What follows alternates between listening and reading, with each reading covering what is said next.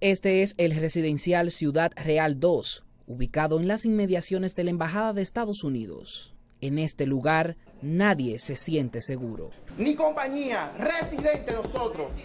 Tenemos que poner las leyes y normas de este residencial.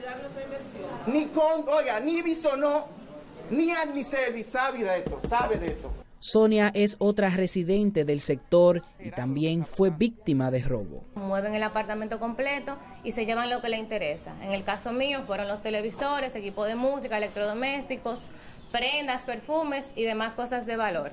Y mientras los vecinos del lugar conversaban con el equipo de Noticias 23, llegó al lugar un empleado de la empresa que administra los apartamentos construidos por el grupo Bisonó. Su presencia provocó airadas reacciones.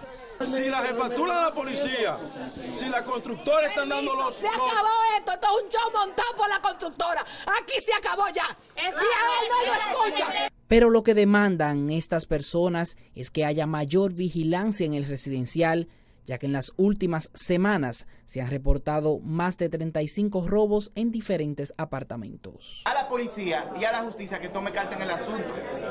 Se supone que ellos son los que tienen que investigar y darnos respuesta a nosotros como ciudadanos. No nosotros hacer la investigación y el trabajo de ellos. José Miguel García, Noticias 23.